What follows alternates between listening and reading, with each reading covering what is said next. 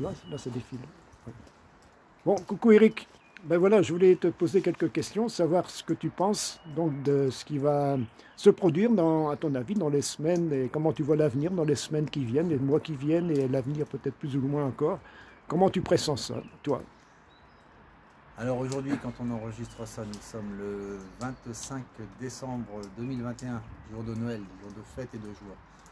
Profitons-en, parce qu'à mon avis, je ne suis pas devin, mais au vu de la façon dont se continuent les événements, les différentes obligations, les interdictions, les injonctions contradictoires. Je pense qu'on va avoir un petit peu de, difficultés à, court et moyen terme. Euh, ça risque pas forcément de s'arranger avec euh, cette espèce de politique des petits pas hein, qu'on nous fait mener, euh, les masques obligatoires, puis le confinement, puis les couvre-feux, puis euh, le vaccin une dose, puis deux doses, trois doses, euh, les obligations pour les soignants, on commence à l'ouvrir aux enfants, on va finir par le rendre obligatoire pour les entreprises, ce qui fait que c'est comme si le gouvernement avait décidé de transformer nos CDI en CDD sous condition de, mise à jour antivirale, hein, comme votre ordinateur finalement. Donc à court et moyen terme, je pense que ça va pas être très simple, d'autant qu'on voit de plus en plus arriver des complications liées euh, à la vaccination, qui s'ajoutent aux complications liées à Covid, mais aussi des complications liées aux, différentes euh, décisions politiques qui ont suivi, notamment des, faillites d'entreprises, euh, des, conditions sociales un peu pénibles avec des hospitalisations, des troubles psychologiques, psychiatriques et même des suicides. Donc le court et moyen terme, euh, vu la façon dont évoluent les choses, je ne crois pas que ça va s'arranger. Ceci étant, il faut garder espoir et se dire que le plus beau reste à venir. Mais ce ne sera pas forcément pour tout de suite. Il faut d'abord que tout ce que l'on vit actuellement, euh, ah, il y une espèce de, paroxysme et puis que ça s'écroule.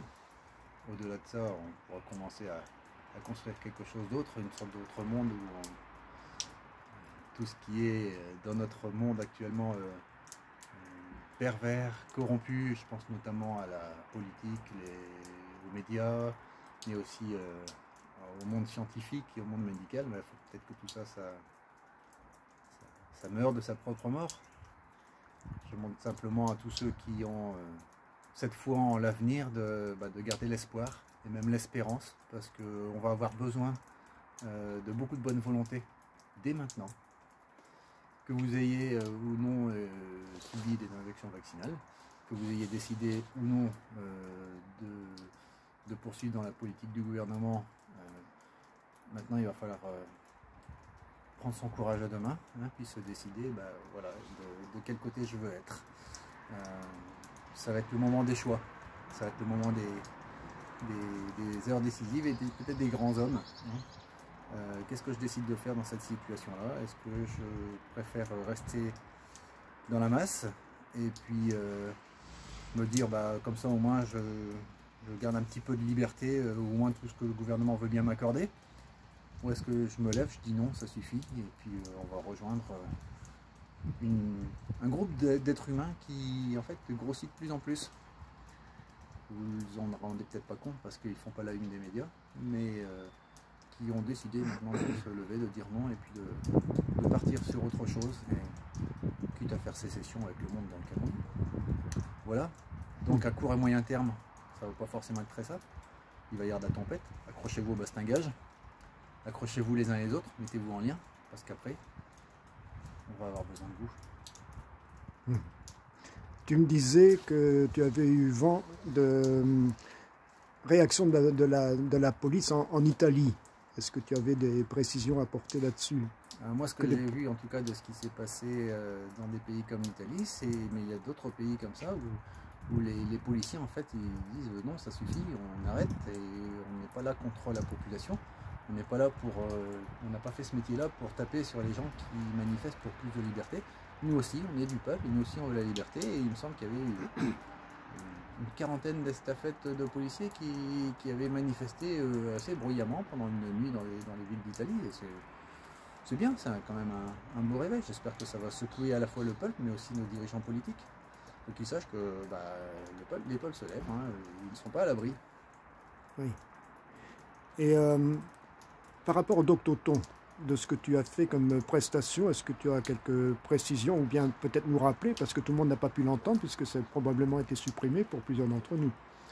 Le Doctoton a été une superbe aventure qui a duré 24 heures, le vendredi 18h, le 10 décembre jusqu'au samedi 18h, le 11 décembre et qui a permis en fait de donner la parole à des tas de personnes, euh, des médecins, des scientifiques.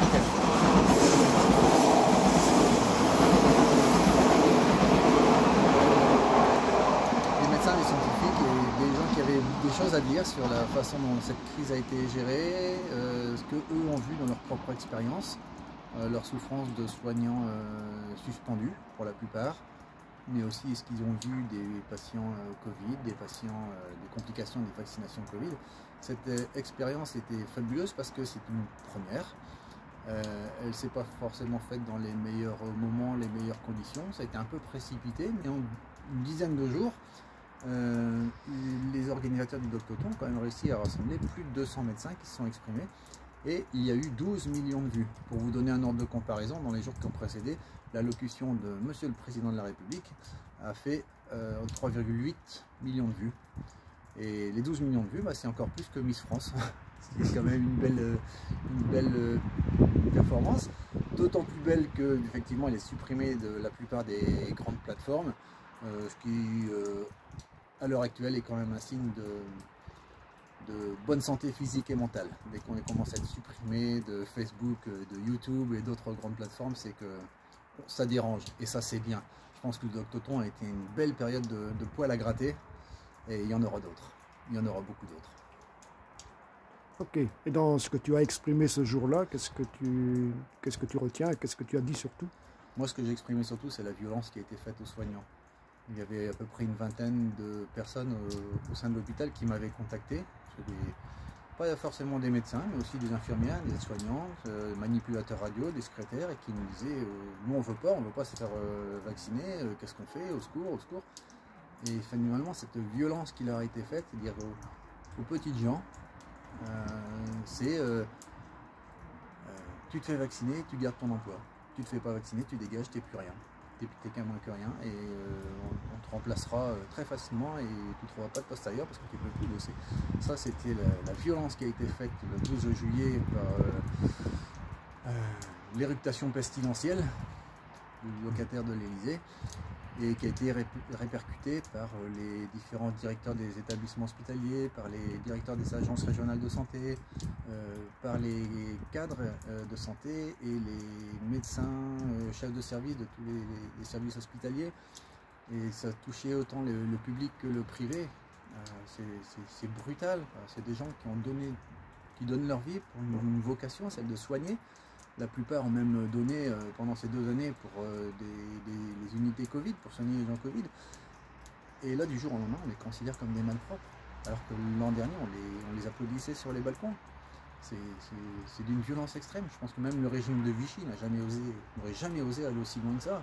Excusez-moi, j'ose le parallèle, hein, mais euh, nous avons un maître étalon en termes de, de, vie politique. Hein, c'est la c'est le gouvernement de Vichy et c'est le Troisième Reich. Et moi je pense que faites gaffe parce que je me demande si on ne s'approche pas de quelque chose d'équivalent. J'en ai bien peur. Ok. Bon, bah écoute, je ne vais pas abuser là parce qu'on tombe déjà à peu près 9 minutes de. oui.